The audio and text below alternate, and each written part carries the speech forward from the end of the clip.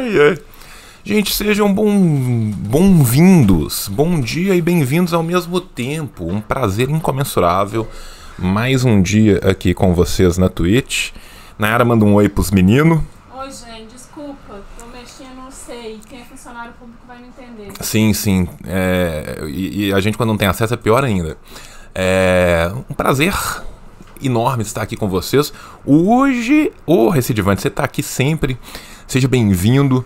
É, hoje é um dia que temos CPI. Bom dia, bom dia, bom dia a todos. Hoje temos CPI, hoje temos a volta de Quiroga, a volta dos que não foram, né? Porque o primeiro depoimento foi evasivo e patético. Então vamos ver agora onde será devidamente confrontado mais uma vez com todos. Quem será o craque do dia? Estamos né? aí com expectativas altas para ver o que, que vai acontecer. Né? Você que está chegando aqui hoje pela primeira vez, seja muito bem-vindo, seja muito bem-vindo ao nosso lindo canalzinho da Twitch. Né? O tio tenta, pelo menos de segunda a quinta, fazer os streamzinhos dele de política BR e quando dá a noite, nós joga um joguinho. Uai, dá pra pagar pela hidratação sim, tá tudo. Tá tudo. Tá tudo aí, cara. Eu não tirei nenhum comando, não. Então, teoricamente, era pra tá tudo aí. Hoje, como tem CPI. Aí, ó. Acabou de pagar a hidratação. Bom dia só depois da propaganda. Gente, eu não sei ainda quando que entra a propaganda. Eu não sei saber quando que entra a propaganda, quando que a propaganda sai. Eu não sei onde que eu olho esse aviso, mas eu tô aprendendo. Você vê que as coisas estão. Estamos no Brasil! Estamos no Brasil! Bem-vindo, bem-vindo, Recidivante que tá aí todo dia. Não esqueça, você que está dando seu sub agora, de usar o comando Discord né? Que aí você vai aprender como entrar lá no nosso Discord, que a gente vai organizando de pouco a pouco, né? É... Pô, já entrei de novo, cara, aqui agora tá assim, né? Lembrando vocês também que tem o livro do tio de Baku. Hoje eu vou ler um trecho do, de uma tradução que eu recém terminei, a última tradução que eu precisava de terminar para o livro. O livro está 100% traduzido. Agora eu começo o meu processo de editorá-lo. Né? É cada editorada, meu amigo, que você não tem ideia aonde eu vou apostando página a página as notas para explicar tudo para vocês. Estamos hidratados, estão dando bom dia para você, meu amor. Bom dia, gente. Desculpa, porque eu vou, ter que, eu vou reunir aqui atrás, eu preciso da internet, só que essa tela lá ali fora não dá pra enxergar. É difícil de eu ver mesmo. Tudo bem vocês, né? Vocês Ô, meu amor, você não tumultua não, você é sempre muito bem-vinda. Galera tem grande alegria em te ver aqui. Primeiro que você é um grande colírio para os olhos para as pessoas, né? Porque estão acostumados com a minha cara feia e aparece você, essa deusa diáfana, de beleza transcendental. Ô, meu amor, é muito É. paixão, hein? Demais. E, e tudo fica melhor. Gente, é, primeiro, né, agradecer demais a vocês. Estamos aqui de manhã já batendo mais de 100 viewers, né? Enxergar, acho que vou pro corredor do vizinho. Justo. E hoje, antes da gente falar, né, da CPI, antes de falar de tudo mais, eu já deixei aí uma noticiazinha pra vocês, né, que eu comentei sobre ela rapidamente ontem. Hoje eu quero falar de algumas duas ou três notícias nacionais aqui, quero falar um pouco das eleições peruanas bem en passant, né? E depois eu quero ler um pedaço do, do livro que a gente que a gente eu traduzi ontem, que tá um espetáculo. Cara, é, por favor, não faça day trade com o dinheiro da sua cidade. Tudo que eu te peço é isso. Se você vai fazer day trade, se você vai jogar essa grande roleta russa de tiros de 12 no cu, né, não faça com o dinheiro da sua pequena cidade no interior do Rio Grande do Sul que dá ruim. Tá? Fica a dica aí pro advogado do Paluma, tá? É, como vocês estão vendo aí, ontem o exército impôs 100 anos de sigilo. É isso mesmo que vocês estão vendo, são 100 anos de sigilo. Né, para processo administrativo de pessoas. 100 anos de sigilo, gente, parece o nome de um filme do Pasolini, né? uma vida inteira de punhetas cruzadas dos brothers em banheirões de rodoviária pelo mundo afora, né? 100 anos de sigilo. Qual que é a justificativa para se colocar 100 anos de sigilo em alguma coisa? Nenhuma, né? Obviamente, nenhuma. Qual que é a justificativa que eles estão usando? A LAI, a Lei de Acesso à Informação. A Lei de Acesso à Informação permite que autoridades com DAS 5, 6 ou 7, né, ou mais, né, os ministros e tal, classifiquem né, uma informação confidencial por X tempo. Em tese, isso pode ser revogado no futuro para algum futuro chefe de Estado? Pode, né? E a gente tem que lembrar também, gente, que a segurança jurídica dentro do direito burguês é minúscula, né? Então, assim, é, depende muito mais de vontade política do que propriamente do arcabouço legal. O arcabouço legal está aí para ser mudado. Né? O que a gente espera de coração é que essas pessoas recebam um maravilhoso tribunal popular no melhor estilo Thomas Sankara, né? Mas né, vejamos o que vai acontecer. O que é importante dessa notícia aqui? Primeiro, né, a gente vê a fraqueza e debilidade verde-oliva perante o capetão, né, que basicamente é, é, é ser cuck do cuck, né? Estamos no Brasil, muito bem-vindo, chutou 25. Né? O, basicamente o que a gente está vendo é o exército conseguindo ser cuck do homem mais cuck do Brasil. Né? São putinhas verde-oliva, né? com, com o perdão do termo putinhas, que é um termo horrível. Né? É uma coisa absurda, lastimável, vergonhosa.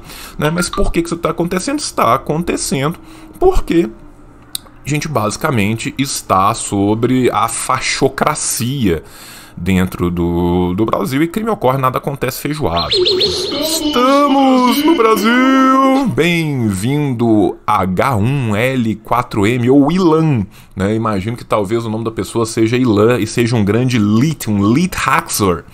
Né? Opa, hidratação pro tio, muito obrigado. Então você, jovem, note que a mamada acabou, né? Nós vamos ter cada vez mais as coisas sendo feitas cada vez mais abertamente, né? Por quê? Porque é a certeza total, completa e restrita que não haverá punição nenhuma, então estão tentando garantir a não punição futura. Né? É o famoso temos muito crimes, mas não temos convicções. Né? Se tinham convicções, mas não tinham fatos, agora você tem crimes a testes para todos os lugares, você não vai ter nem, nem condenações, nem convicção, nem porra nenhuma. É, inclusive agradecer muito, né, a Twitch me impedindo de ter novas pedras nos rins, mas eu venho me, me hidratando muito bem, gente. Eu venho sendo um, um cara muito hidratado, né? Daqui a pouco nós vamos né, ter a, a CPI aí e eu vou gentilmente passar o, o bastão na mão de quem, de quem merece mais do que eu, de quem vai acompanhar a CPI o tempo todo, porque eu não irei acompanhar a CPI o tempo todo, porque infelizmente o tio está lotado de um milhão de trabalhos, né? E vai ser hard. Para além dessa primeira notícia que eu queria comentar com vocês de hoje, de ontem, na verdade, né? Que isso aí saiu ontem. Como adorei essa pergunta. Estamos no Brasil. Seja bem-vinda, Coruja Tomaturgo. É, como, né? Pergunta meu querido recidivante, que a gente está tendo eleições no Peru se o presidente é o Gonçalo. Excelente, excelente questionamento. Né? Chegaremos ainda nas eleições peruanas dentro de muito em pouco tempo, tá? Agora, quero falar ampassando uma segunda coisa, né, que é o para surpresa de ninguém, né, o momento Pikachu surpreso aqui para todos, né? Olha que beleza. Jogadores da seleção brasileira decidem disputar a Copa. Ah, meu Deus! Estamos tendo um hype trem, gente. Eu não esperava por essa. Todo dia tem hype trem aqui nessa loucura. Gente, muito obrigado, muito obrigado, né? Estamos tendo um hype train aqui, você sabe como é que funciona. Cada vez que passa de nível no hype train, o tio faz o quê? O tio canta uma música ridícula. Então, em breve, se tudo der certo e a gente passar do, do nível 1 desse hype trem, do que eu hoje não acho que o. Estamos no Brasil! Acho que agora passa, hein? Acho que agora passa. Passou. Vamos lá, vamos cantar o quê? Um brinquedo de papel machê? Cores mar, festa do sol. Vida fazer, todo sonho brilhar, ser feliz. No teu colo dormir e depois acordar. Sendo seu colorido brinquedo de papel machê. Se parecer sol, voltar a viver, violeta e azul, outro ser, luz do querer. Aê, pronto. Cantamos um brinquedo de papel machê aqui, coisa boa, coisa linda, né? É, sim, essa música do João Bosco ela não apenas tem 13.218 acordes, como ela necessita que você tenha um treinamento de soprano para cantar essa porra, que a minha vozinha horrível não me permite. Né? Voltando aqui brevemente enquanto o hype train vai subindo, né?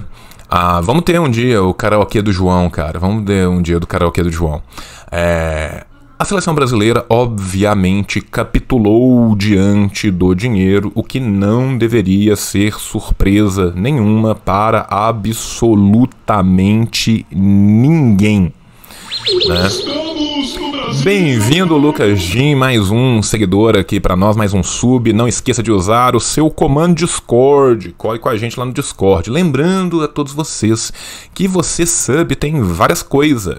Você tem o. Você vence o slow mode, né? Você não tem slow mode para mandar suas mensagens. Você pode mandar links. Você participa do Discord. Você participa de sorteio de livros. Você ajuda o tio.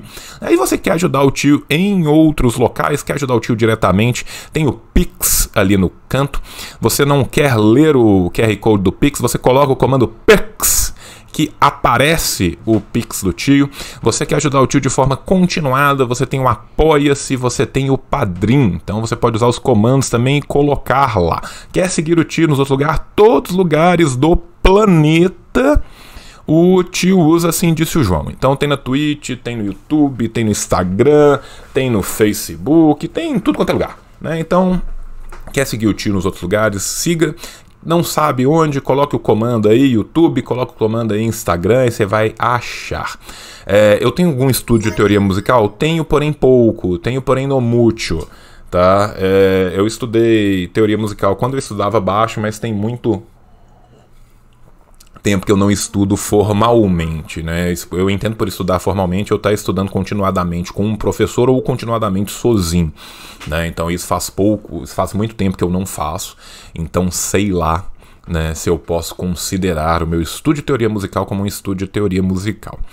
Né? Qual que é a surpresa aqui? Nenhuma. A gente tem que lembrar que a CBF é um dos órgãos mais corruptos do mundo. A gente tem que lembrar que o presidente em exercício da CBF não é o presidente em exercício da CBF, o presidente em exercício da CBF ele está banido do futebol e continua mandando na CBF de cima embaixo. Né? Então é um absurdo. Sim, o Discord é apenas para os subs por enquanto. Depois eu vou fazer o cercadinho da moçada lá para todo mundo organizar bonito, né, que é algo que eu tenho que fazer, mas ainda não o fiz.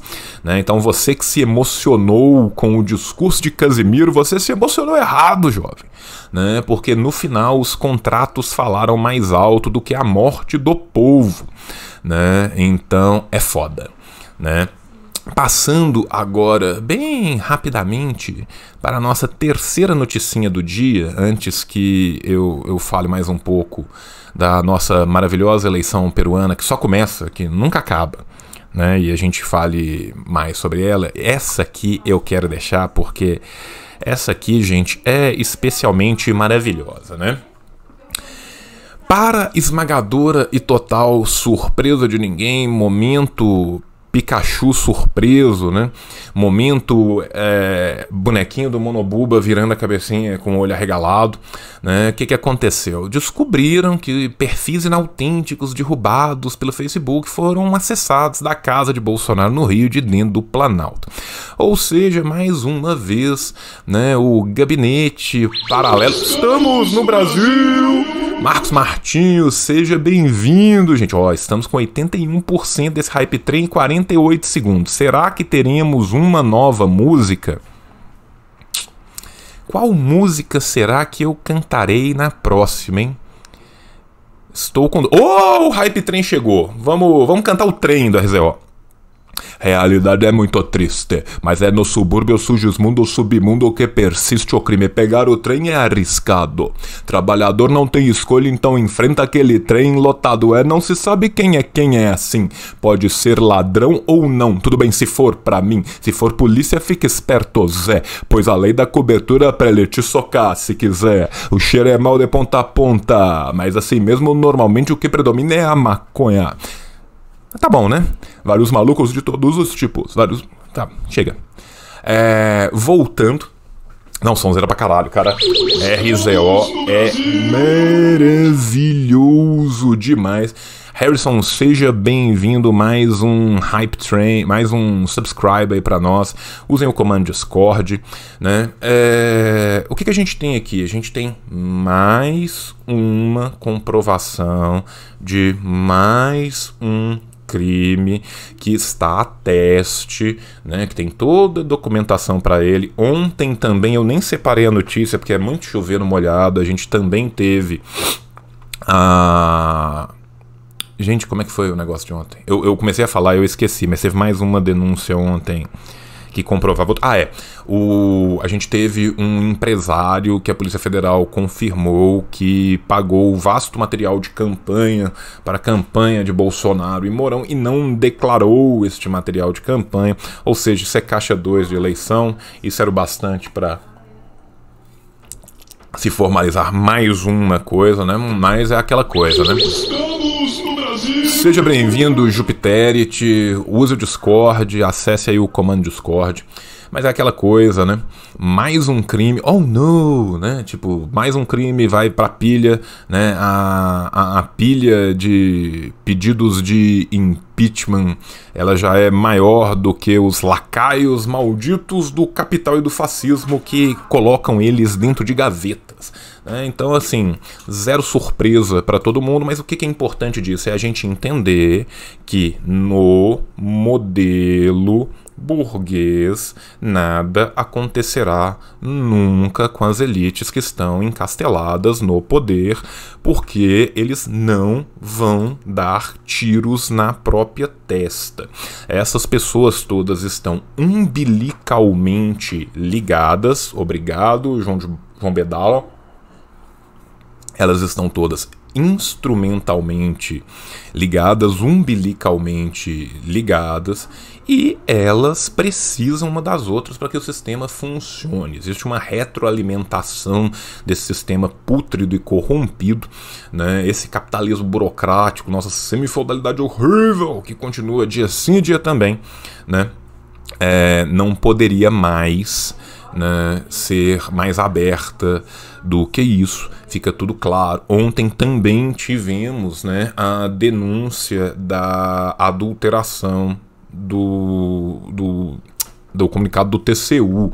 Né? Ou, ou, ou, seja, gente, né? não precisa de, de chover mais no molhado. São 5, 7, 10, 15 notícias todos os dias que nos mostram que rebelar-se é justo, que não existe nenhum tipo de mudança possível para as massas trabalhadoras dentro desse sistema e de que urge uma ruptura ruptura. Ruptura extra que nós vamos construir com nossas mãozinhas, tá? Então, se organizem, se organizem, tá? E e é isso. Vocês precisam se organizar para que a gente possa lutar todos juntos para tirar não só o Brasil, mas a humanidade do seu da sua pré-história e rumo à sua história livre e emancipada. Bem, vamos lá. É, deixa, as mensagens destacadas não estão aparecendo no chat live. Estranho, porque para mim aqui super tá aparecendo. Elas ficam roxinhas e elas aparecem. Então eu peço desculpas aí se eu tiver que programar alguma coisa, vocês me falam, mas aqui para mim ela tá aparecendo aqui no, no negócio do chat. Então, desculpa aí. É, antes de eu entrar no, no livro, depois eu quero falar uma parte para vocês, porque é bem legal. Eu quero falar um pouco da, da eleição peruana, tá? A, a eleição peruana, né, ela só começa, né? Ela não termina nunca. Nós estamos atualmente com 96, muitos, né? De porcentos já, já apurados. Ao que tudo indica, teremos a vitória do Castilho, mas isso não necessariamente está cravado em ferro e fogo matematicamente ainda, né? Mas é aquela famosa possibilidade de um tribilhão de porcentos, né? Deixa eu até atualizar aqui, a OMP está em 96,795 né, de atas abertas. Né? Eu não sei se todas essas atas foram contabilizadas, o, a percentagem de contabilização está ali 1% abaixo. Né? Qual que era a situação que, que esperava-se, né, ou pelo menos a extrema-direita fascista etnogenocida peruana esperava. É... Não, não acabou, cara. É um, é um negócio de louco esperava que acontecesse? Esperava que os votos do exterior fossem ser majoritariamente. Atas contabilizadas 95,255. Obrigado pela informação, Marcos Martim. Né? É, não, a possibilidade de ganhar e não levar ela é gigantesca, eu vou chegar nisso depois. Deixa eu só cobrir um, um pedacinho da, da eleição antes e depois eu passo para isso. Existia uma expectativa muito grande que o voto no exterior seria majoritário né, para para a, a Keiko, porque o sujeito que está no exterior ele é completamente afastado da realidade do seu país e normalmente o sujeito que tem como ir para o exterior é porque ele tem alguma bala na agulha ou ele se identifica erroneamente com uma classe a qual ele não pertence.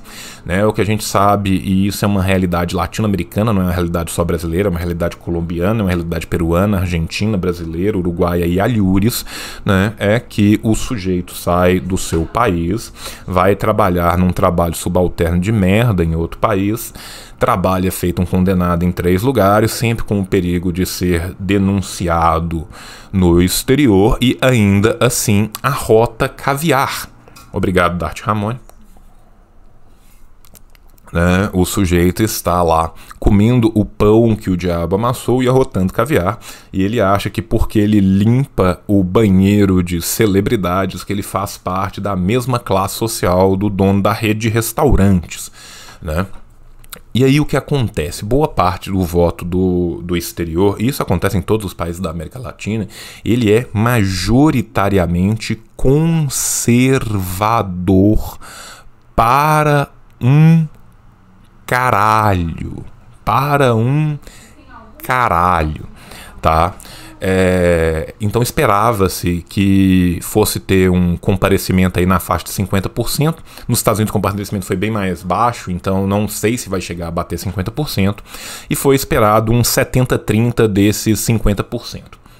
O que, que a gente viu na prática? A gente viu um comparecimento um pouco menor do que os 50%, ou seja, tinha 900 mil é, peruanos para se para para como é que fala gente é, para para votar e não chegaram aos 450 mil. Para além disso, a gente teve um segundo dado, esse mais interessante, que não bateu 70-30. Da última vez que eu olhei os votos vindo do exterior, tava 62-63 a 36-37. O que, que isso indica? Isso indica que os conservadores não se movimentaram para ir até o consulado, o que é super comum, gente. Eu que trabalhei em consulado, eu que já organizei eleição, né? Eu posso te, te garantir que o comparecimento é sempre baixíssimo no exterior. Inclusive, boa parte das pessoas sequer fazem é, os trâmites necessários para poderem votar. Já dentro do Peru, né, a, a, região principal em que, a, que os Fujimori ainda mantêm poder é em Lima e suas cercanias, né, e o interior do Peru é todo do, do Castilho. Né? Até porque a, a divisão étnica, a divisão é, diferenciada de como dá 65-35, eu tinha visto estava 62-37 tanto. É, 65-35 já é uma quebra ótima, né? É, dentro do, do, do, do, Peru, socialmente a gente pensando, né, a, a região de Lima, é, Lima tem quase tem mais da metade da população do Peru só em Lima, cara. Lima é uma cidade gigantesca, uma puta megalópole, né? E o Peru, salva alguns rincões que são mais mais habitados, né? Ele tem uma população bem mais escassa do que ele bem mais espalhada e obviamente o governo olha para essa população do mesmo jeito que olhava no século XIX, né? Ou seja, não olha. Né? E, e até ironicamente, em alguns pontos, os governos pós primeira e falsa independência do Peru, ou seja, os governos né, do do, da, das elites peruanas autóctones nacionais, eles conseguiram ser ainda mais cruéis com o povo peruano, com as massas trabalhadoras peruanas, do que tinha sido o período da colonização peruana, porque a colonização peruana foi uma colonização muito pelos cocos. O controle social da colonização peruana foi muito aquém do que foi, por exemplo, o controle social da colonização brasileira ex post transplantação da família real, exposto invasão napoleônica e Chudomás, né? Então, o que a gente vê no caudilismo peruano, principalmente, né, no século XIX e no século XX, foi um um tratoramento brutal das populações autóctones, dos povos originários peruanos, que são né, a esmagadora maioria da sua população desde sempre. Leiam Mariátegui, gente. Vocês querem saber o que, que foi né, colonização e, e, início do capitalismo no Peru? Leiam Mariátegui, leiam os sete ensaios. Leiam os dois primeiros ensaios, tá? que ele vai falar da questão econômica da questão indígena.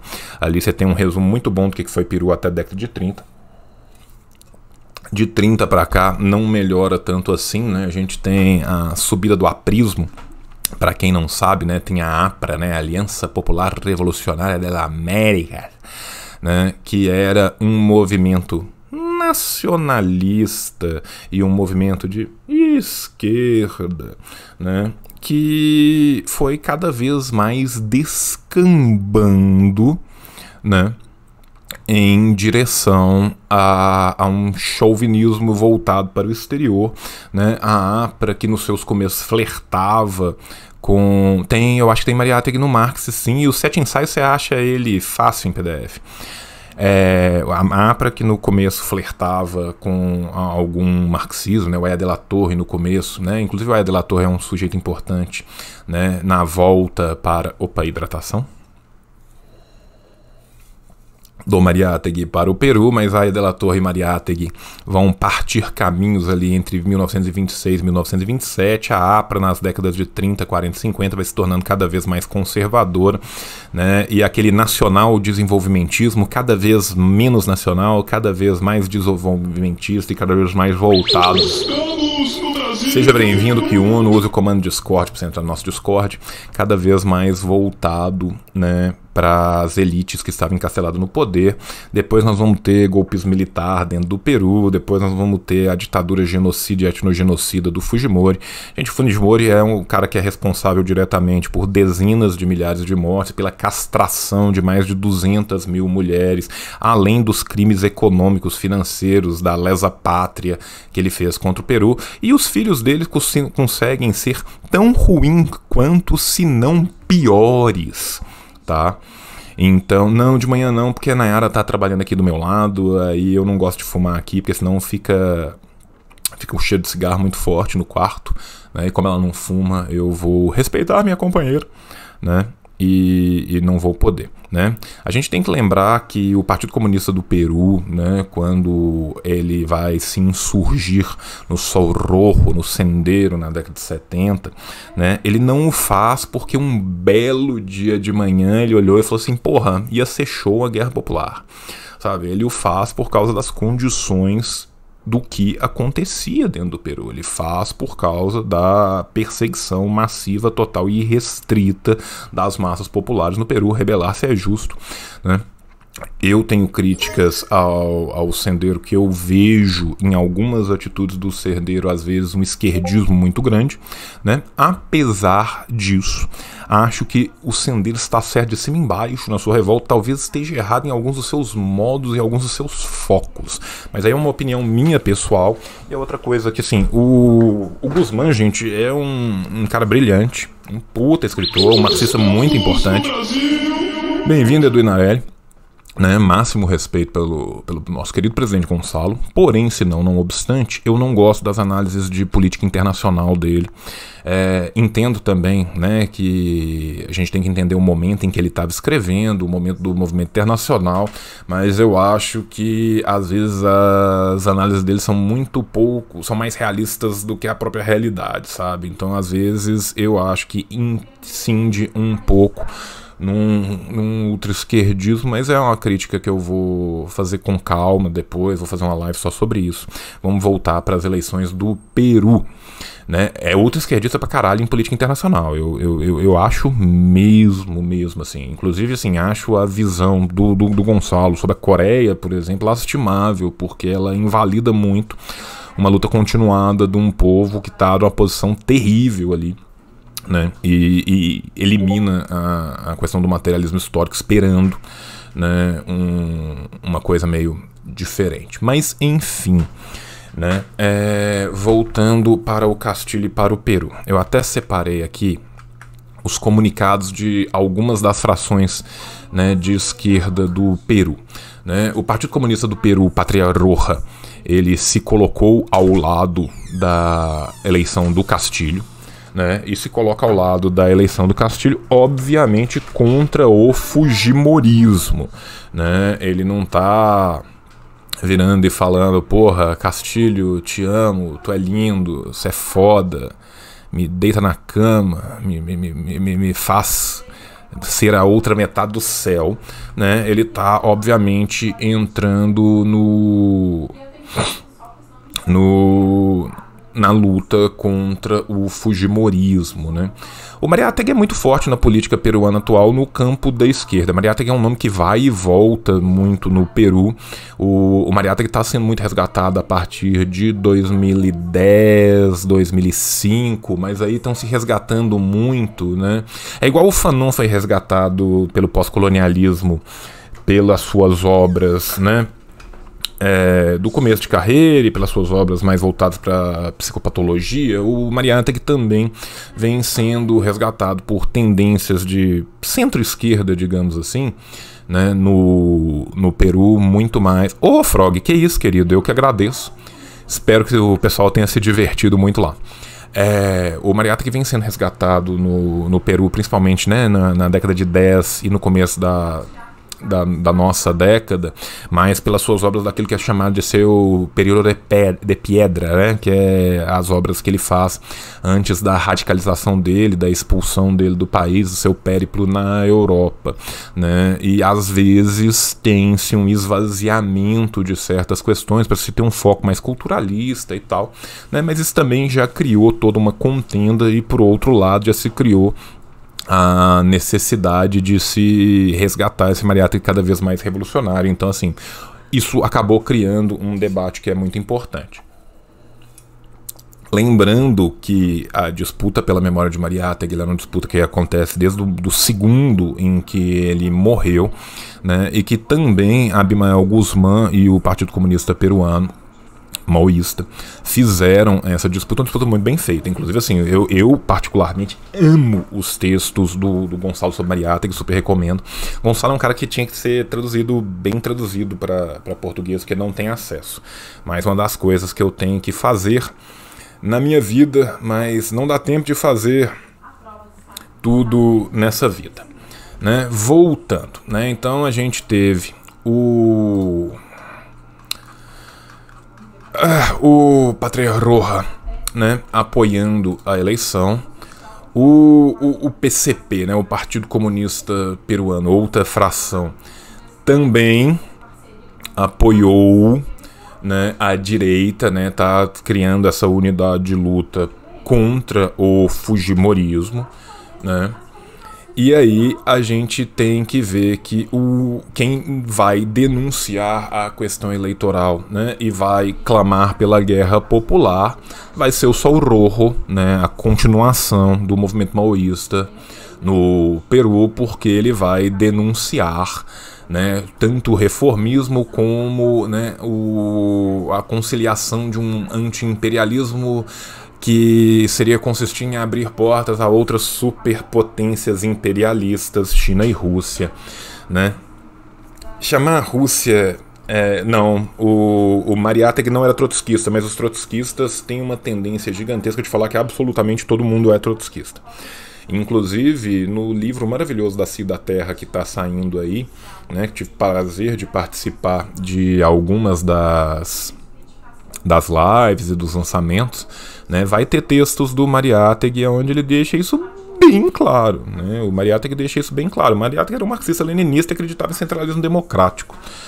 Né? Então ele entendia que, pese tudo que Trotsky fez, que sua expulsão do partido tinha sido muito justa. Né? E Mariátegui disse isso textualmente. Aí não é o João dizendo, é o Mariátegui dizendo. Então chamar o Mariátegui de trotskista é um delírio que não aguenta três minutos de trocação de tapa com os fatos mais simples da obra do próprio Mariátegui, né?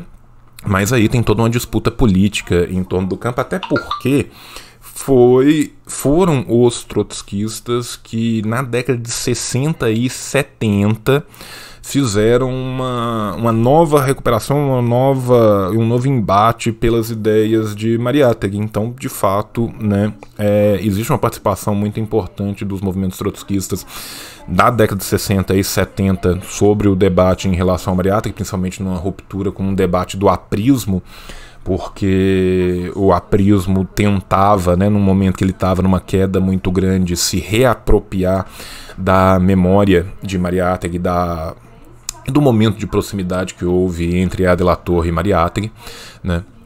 Mas é isso, ele não é não é trotskista mesmo.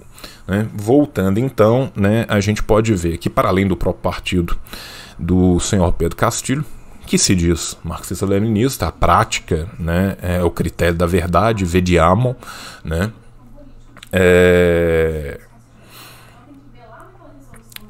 Vamos ver o que vai acontecer. Agora, a, a, tática de direita aqui e lá, gente, é muito igual porque é a tática da extrema direita no mundo inteiro. Essas pessoas são todas retroalimentadas pelo capital transnacional.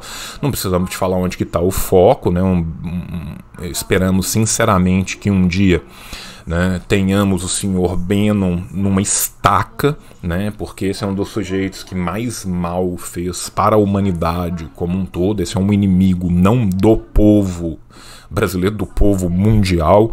É um sujeito que deveria ser empalado em praça pública e ter a estaca cobrada de seus familiares. Né? Steven Bannon é um cara que faz eleições virarem pelo mundo afora, né? Então, assim, não é à toa que nós temos Bolsonaro, não é à toa que a Filipinas tem o que tem, né?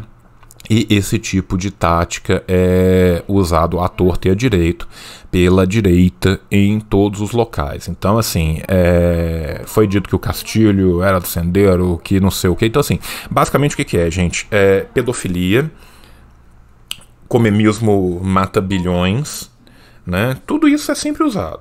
Né? Então, assim, corrupção. E, e é muito irônico, né? Porque aí a gente vai ver quem é corrupto. A pessoa que passou seis meses preso por corrupção e tem milhões de denúncias de corrupção e fatos até de corrupção, a Fujimori, ou o Castilho, que é pobre e usa um chapelão, né? Quando a gente fala, você vê os caras todo dia falando da família, família, família, família, e conta pedofilia, pedofilia, pedofilia, pedofilia, pedofilia. Aí você vai ver todas as notícias de, de cara pulando cerca, os expose que tem de direita, tal. É só os caras traindo, traindo com criança, traindo com menor, punheta cruzada, braço no cu. Então, assim, é, a galera fala muito daquilo que seu coraçãozinho está cheio, sabe? Então, assim, o que, que o Castilho é? Essa definição aqui do, do Jason é maravilhosa, tá? É um tiozão sindicalista do Zap, né? É, exatamente. Os caras que falam de pedofilia são os amigos do, do, do Epstein, né? Que se matou na prisão. Opa, bati uma mão violenta aqui agora no, no fone de ouvido. Então, assim, a gente sabe muito bem como que funciona as táticas da extrema direita, mas ainda assim, né, estão é, levando a maravilhosa surra de vara, né?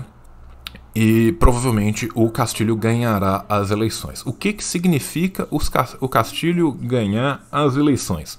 Absolutamente nada.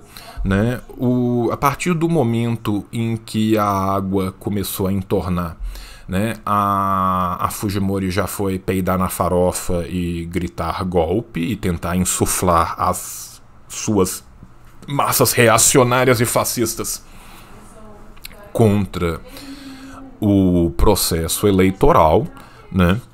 E a verdade é que eleições não resolvem absolutamente nada sem uma mudança sistêmica. O simples fato do Castilho ganhar não vai mudar o sistema de produção, não vai mudar o modo de produção, não vai mudar as relações de, de, de, sociabilidade, não vai mudar a infraestrutura com uma simples mudança superestrutural, gente. Isso é muito básico.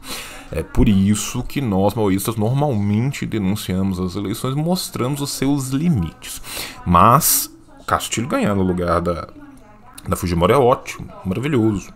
Inclusive, um cone ganhar, um cui ganhar no lugar da Fluminense. Sabe o cui, aquele bichinho bonitinho? Né? Parece um hamster peruano.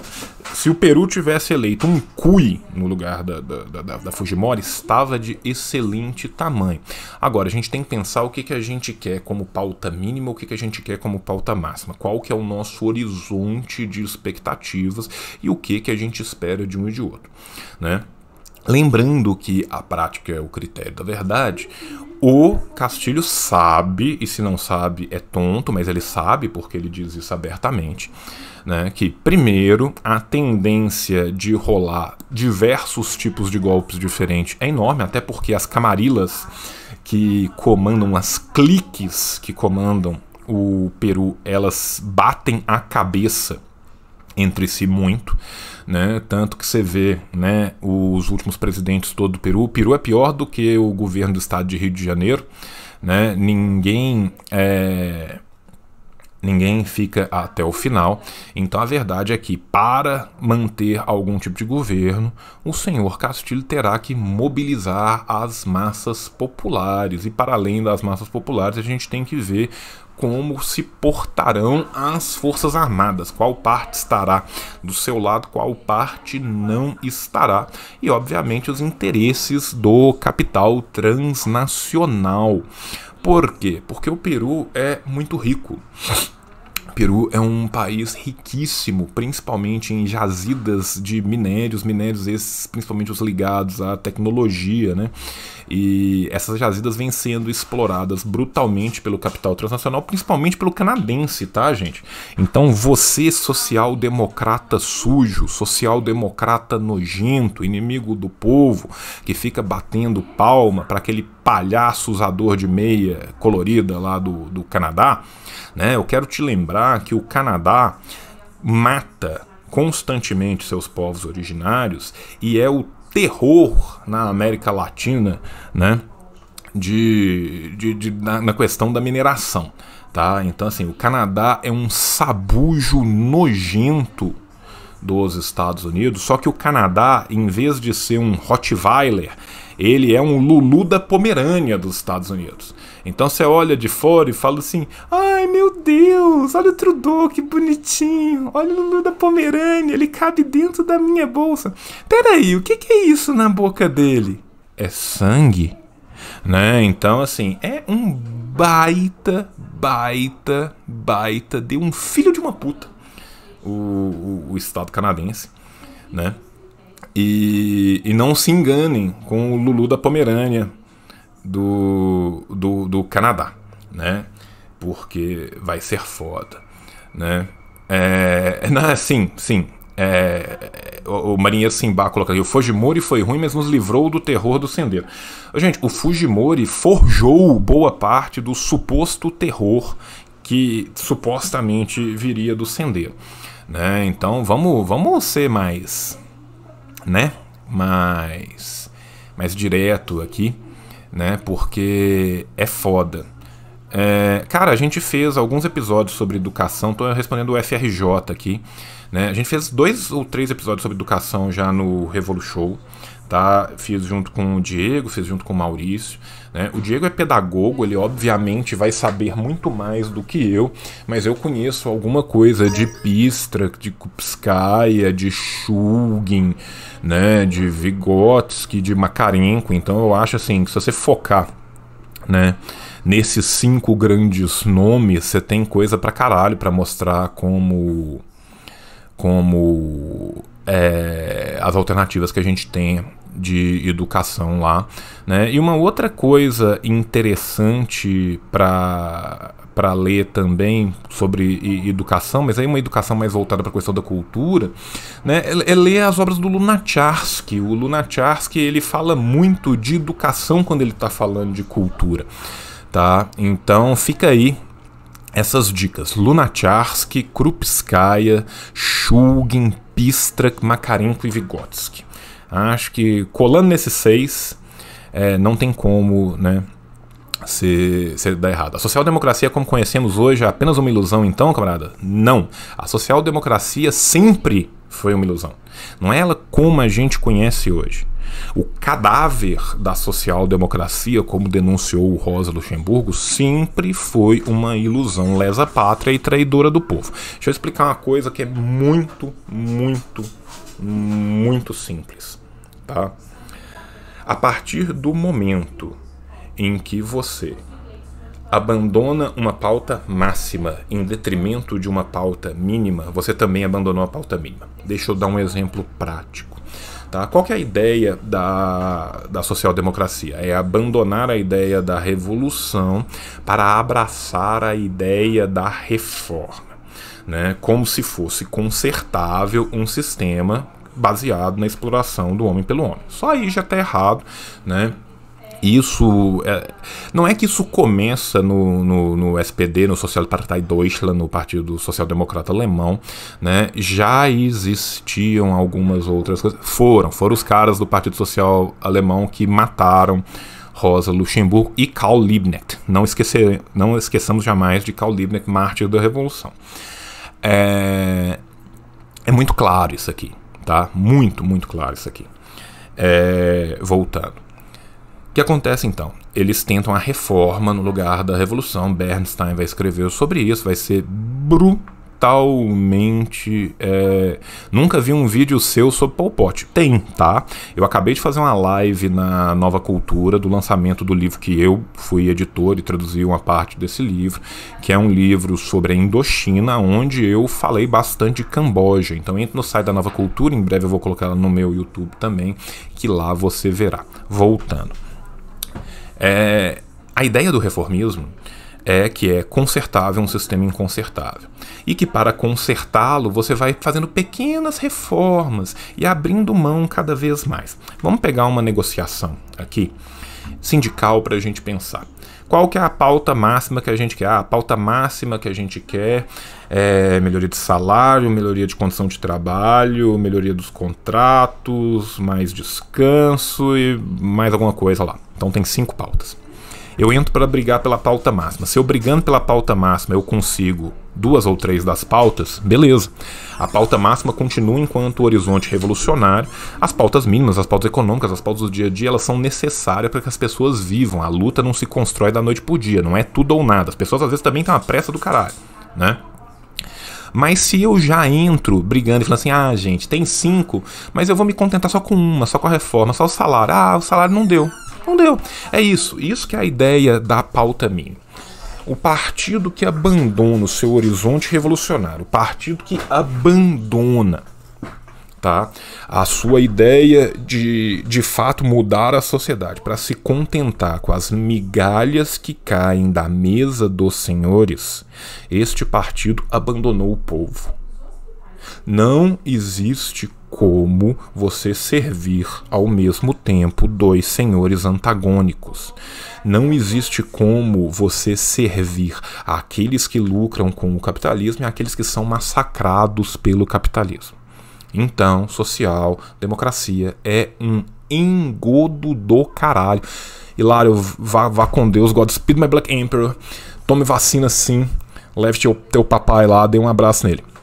Né? Então, assim, não existe como servir esses dois senhores ao mesmo tempo. Se você finge que você está servindo esses dois senhores ao mesmo tempo, você obviamente está mentindo para um deles.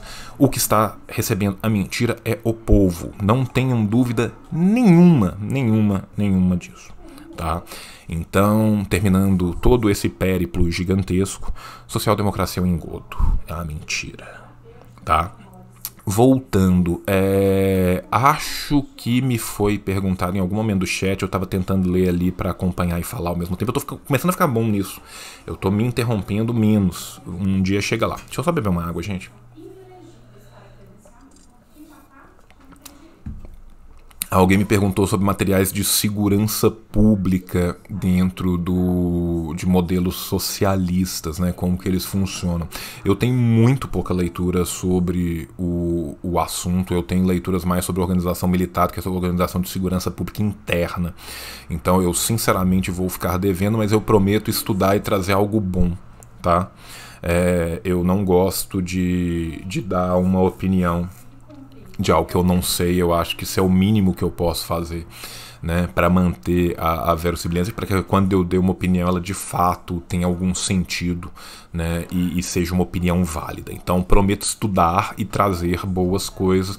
Vou perguntar para pessoas que saibam mais do que eu. Né, o tio não sabe tudo de tudo. Né, então, realmente não tem uma boa indicação para dar. Se fosse uma indicação sobre organização militar, eu tinha mil né? Mas aí sobre a organização da segurança interna dentro do, do, do, do, das experiências socialistas, eu conheço pouca coisa. O que eu posso te falar é que eu tenho alguns materiais, por exemplo, de como que isso acontece na Coreia, porque eu tenho muito material da Coreia e tal, mas assim, não, não muito. Né? O Maria está perguntando, na minha opinião, quem é mais avançado, Lula ou Castilho? Obviamente o Castilho. O simples fato do Castilho virar e falar: se eu ganhar, eu levarei as massas para a rua para tentar uma nova constituinte, já mostra que ele está anos-luz, milênios luz, três universos de diferença do Lula. O Lula, que já era né, o, o, maior conciliador de classe do mundo, voltou ainda mais conciliador. Sim, eu sou organizado, eu não falo onde eu sou organizado por motivos de segurança. É, não existe alguém mais conciliador de classes do que o Lula. Se vocês acham que o Lula, num primeiro e num segundo governo, conciliou classes bastante, esperem Esperem o segundo, que vocês vão ver o que é conciliação de classe de verdade. Então, assim, o simples fato do Castilho pertencer a um partido que se diz marxista-leninista e o simples fato do Castilho virar e falar que ele usará o povo para que o povo junto crie uma nova constituição, ou seja, que ele levará o poder para o povo, já o coloca bilênios luz à frente do, do Lula. Gente, eu só. Não, foi aqui, foi aqui. Foram. Foi meu pai me ligando na real. Depois eu, eu ligo para ele de volta. Um beijo, pai. Né? É... Desculpa aí pelo susto, gente. Vou até colocar no silencioso. É uma linda caneca, cara. Pera aí, meu Pilates era de 10 às 11? Gente, eu achei que meu Pilates era de de 11 a meio-dia. Meu Pilates era de 10 a 11. Eu estou atrasado para o meu Pilates, gente. Eu tenho que fazer porque meu ombro está terrível. Tá? Eu fui, eu dei mole pra caramba e foi um tremendo vacilão. Eu vou correr aqui agora, porque, né, assim como uma boa milf. Ai, meu Deus, minha cadeira caiu no fundo. Assim como toda boa milf, eu sou uma gata pilateira, né? Então, eu vou ir fazer o meu pilates, gente. Desculpa, um beijo no coração de vocês. O tio jura que voltará em breve, tá? Então, assim, é, voltarei. Beijo da gata pilateira para todos vocês. Deixa eu fazer uma rede, né? Porque é muito injusto eu estar tá com 253 pessoas e não servir ao povo de todo coração. Para quem vai à rede, gente? Rápido que eu tenho que, que ser gata pilateira.